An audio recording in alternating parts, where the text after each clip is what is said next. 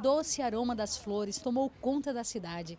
A Feira de Flores de Olambra está mais uma vez em nossa capital, trazida pela Associação Beneficente Casa da União e o Centro Espírita Beneficente União do Vegetal. Então a gente desenvolve trabalho na área de saúde, na área de meio ambiente, na área de ecologia.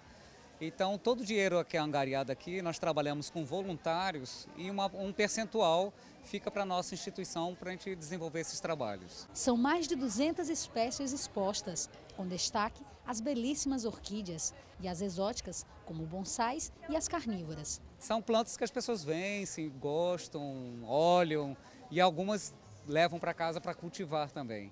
A feira traz aproximadamente 5 mil pessoas por dia.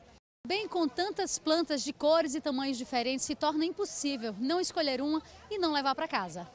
É importante você estar, tá, além de você comparecer, né?